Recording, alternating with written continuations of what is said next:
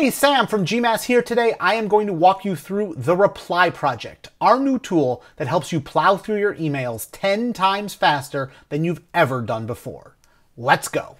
Hey, hey, hey, hey! Do you waste too much time every single day going through your inbox to respond to emails? Of course you do.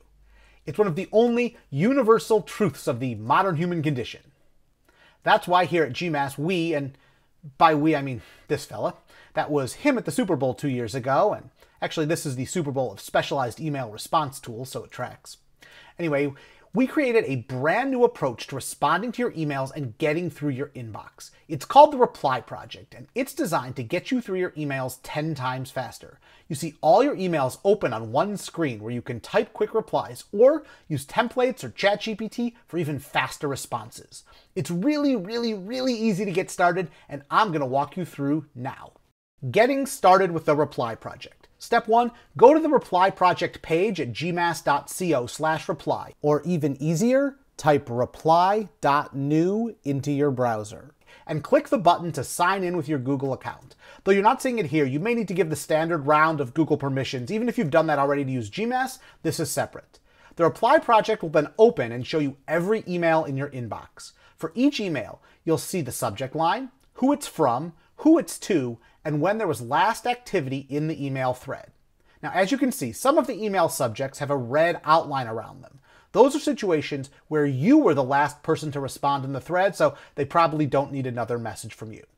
Now, let's type a reply. Click into the box next to any email and type your response to that email. If you highlight text, you can add formatting.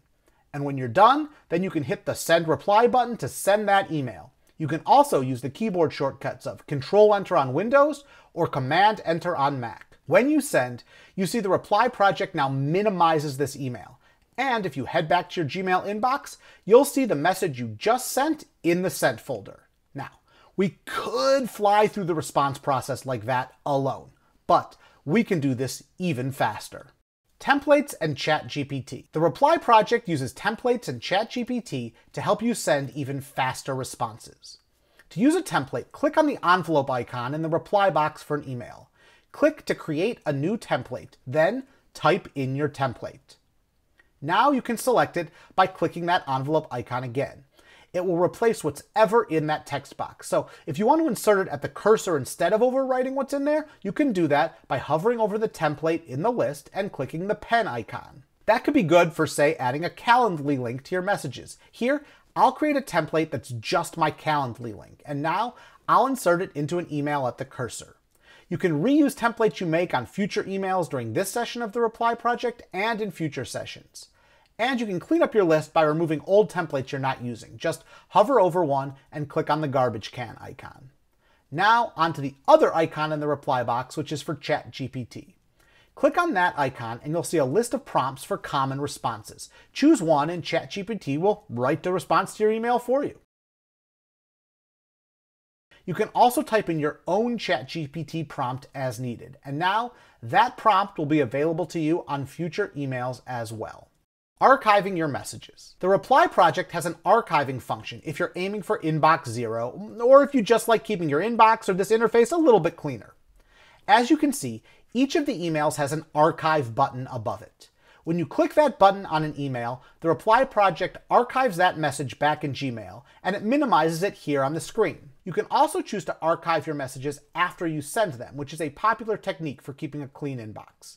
To set that global preference, use the Archive After Sending checkbox near the top of the screen.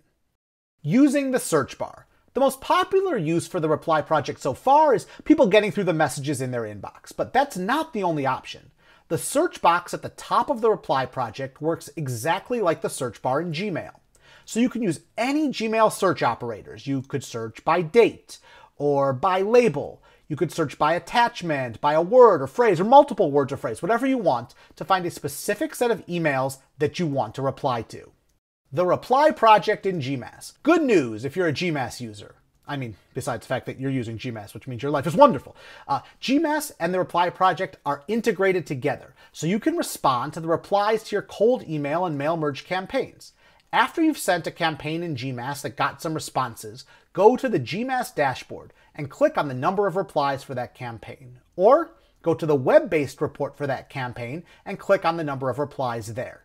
Either way, you'll see a flyout panel on the right side of the screen showing your campaign replies. And there's a link at the top of that panel for the reply project. When you click that link, GMass opens all the replies to your campaign in the reply project interface. Notice there's no search box here. We're just focused on the replies to that specific campaign. So now you can use the reply project to fire off quick responses. Time to get going. So that's the reply project in action. We've tried to make it as easy as possible to just log in and start knocking out replies fast. And then as you get more comfortable, you can use things like templates, ChatGPT, archiving, searching, and the GMass integration. You can get started at gmass.co slash reply, and frankly, you could probably get through your entire inbox worth of replies in a shorter amount of time than it took to watch this video. I do like to ramble.